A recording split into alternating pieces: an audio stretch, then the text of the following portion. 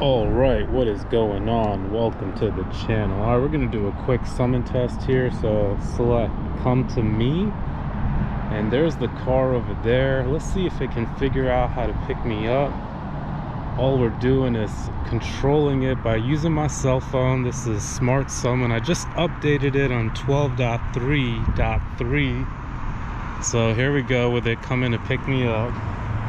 And let's see how it does looks like it's figuring it out somewhat.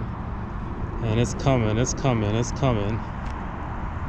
And yeah look just like that the car successfully picked me up. And here it is. Look at that. Look at that. No one in the driver's seat. Very cool. And just like that the car picked me up.